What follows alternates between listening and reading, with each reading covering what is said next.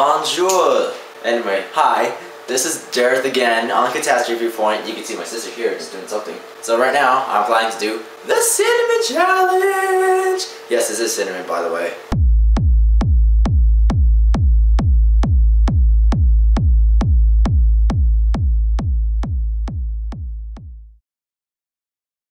Now that my sister's hi, and I'm gonna eat the cinnamon. Finally, hopefully this one doesn't fail. I heard it's pretty hard for most people. I can do it easily, probably. I need water.